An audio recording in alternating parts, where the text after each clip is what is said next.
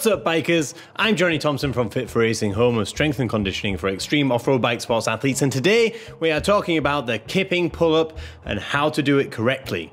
So, this is a technique video. If you're not bothered about how to do a kipping pull up, then turn off now. If you are, continue watching. So, from the top, Nice and briefly, why do we do a kipping pull-up? Well, basically, it's a nice fast movement for metabolic conditioning. For after intensity, using the hips is absolutely allowed, encouraged, so that then it's a whole body movement. We have done a previous um, little explanation about the pros and cons of kipping pull-ups and different types, so go back and watch that if you haven't seen it.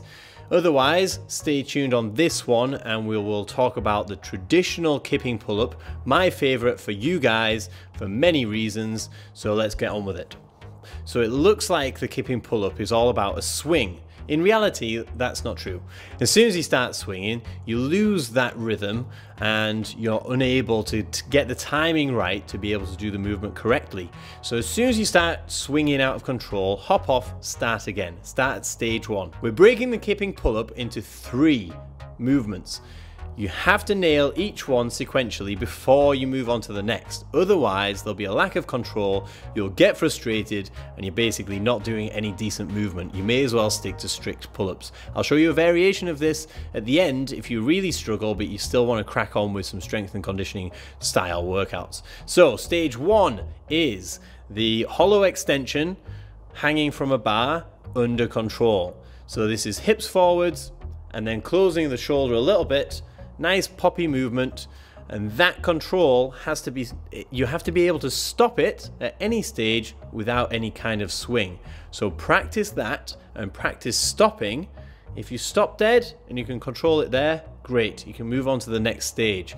If you stop and you have a slight swing or a big swing then hop off try again until you get that stage nailed. Stage two is then a little bit more thrust of the hip. So we're just exaggerating that first controlled movement into a more thrust of the hip and a closing of the angle of the shoulder. If you look, my arms haven't bent yet.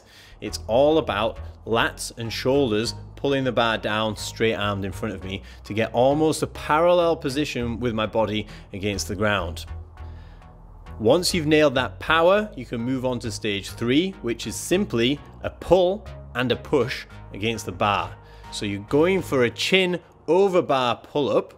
Now, stage two, the height of those hips and the angle of the shoulder, you then keep that at the top while you do a pull to the bar and a push back off and then release the tension and start this fluid motion again.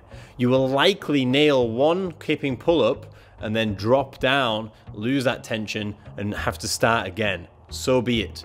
So this is a lot about timing. If you can, and you are consistently getting one kipping pull-up, try and hold your body on your hips up nice and close to the bar where you left it at the first and second stage of the movement.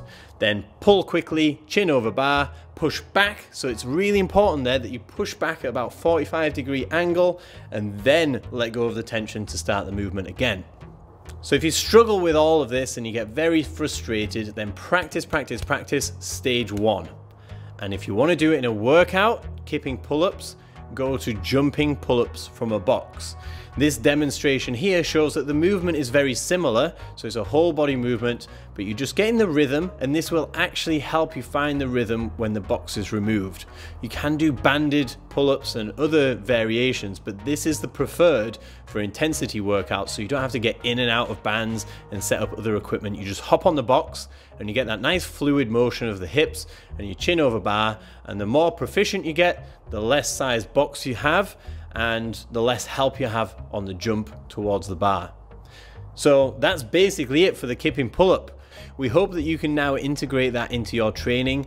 Practice, practice, practice, stage one, two, then three, but don't neglect strict pull-ups. So strict strength will also help your kipping, not so much vice versa. The kipping pull-up reserved for metabolic conditioning workouts, so that's super high intensity stuff where you're alternating between movements. So Don't neglect the other elements, but do practice and try and integrate kipping pull ups into your training. If you have any questions or requests for other technique videos, please get in touch. And until next time, peace. One, two, three. Listen.